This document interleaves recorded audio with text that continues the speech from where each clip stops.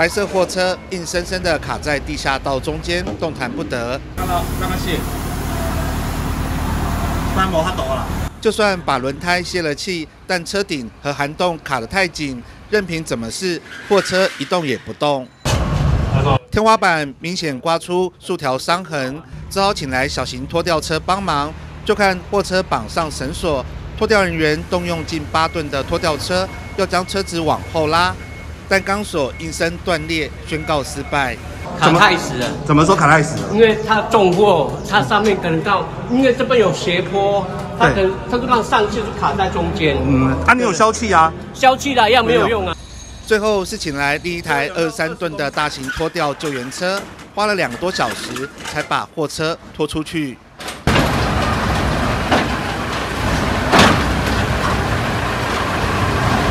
这名货车司机准备到基隆暖暖送货，根据导航路线走，但因为路况不熟，开着三吨半的货车进入地下道，当时没有注意到限高二米三的标志。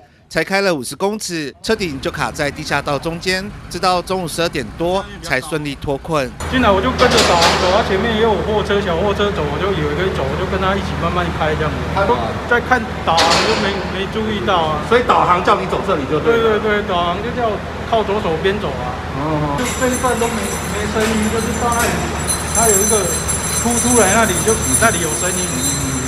半年半年前有拉过两台在对面，啊是常常都是没有注意高度还是怎么？对对对对对对对对，在半年前那个是整个那个屋顶不见了。